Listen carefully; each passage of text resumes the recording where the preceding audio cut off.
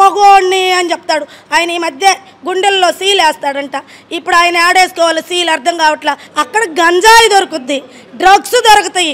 నువ్వు ఎందుకయ్యా ఇట్లాంటి ప్లాన్లు వేసి ఫెయిల్ అయిపోతావా? ఇప్పుడు ఒకటి చెప్తున్నా గురిగింజకి దాని కింద నలుపు తెలియదునంటూ నారాయణ సారు ఎక్కడికి పోయినా ఏ ఇంటికి వెళ్ళినా నారాయణ సారే వస్తారనేది స్పష్టీకరణ అయిపోయింది.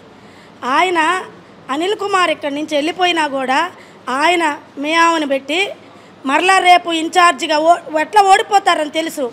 ఇన్ఛార్జిగా ఇన్ఛార్జిగా అయినా దక్కుతుందని. లేదు నారాయణ సార్ని నారాయణ సార్ కుటుంబాన్ని భయభ్రాంతులకు గురి చేస్తే ఆయన డ్రాప్ అవుతాడని ఈయన ఉద్దేశం. ఆయన ఆయన ఏం భయపడ్డు? ఆయన సాఫ్ట్ అనుకుంటున్నారేమో. ఆయన ఏం సాఫ్ట్ కాదు. మెతకల బిరుసు ఆయన. ఆయన కష్టపడి చిన్న స్థాయి నుంచి ఈ స్థాయికి ఎదిగాడు. ఇసుక దోచుకొని అక్రమ లేఅవుట్లేసి ప్రతి ఒక్కరిని భయభ్రాంతులకు గురి చేసి దోచుకున్నది కాదు. పోలవరం ప్రాజెక్టులో దోచుకున్నది కాదు.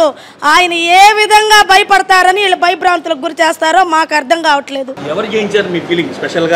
ఏం ఆలోచించబల్లే ఇప్పుడు రా ఇప్పుడు ఖలీలు ఊరికే కంటెస్ట్ చేస్తాడు. వెనక shadow M shadow MLA Anil కుమారే.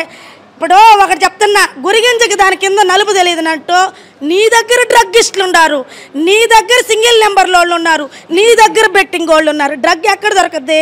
నీ అనుచర వర్గానికి అక్కడికి వెళ్తే అడ్రస్లు కావాలంటే చెప్తాం మేము. అక్కడ గంజాయి దొరుకుద్ది. డ్రగ్స్ దొరుకుతాయి.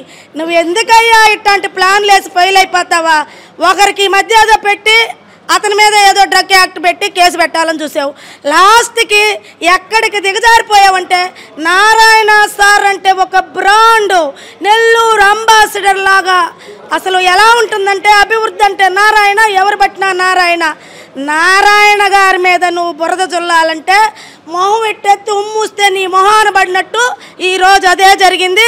సింహద్వారం నుంచి ఒక వంద మందో యాభై మందో భయం ప్రాంతులు చేసేదానికి సెల్యూట్లు కొట్టుకుంటా వచ్చి దొడ్డిదారున మియా వంట వెళ్ళిపోయారు. అది పరిస్థితి. మీకు అర్థం కావట్లా?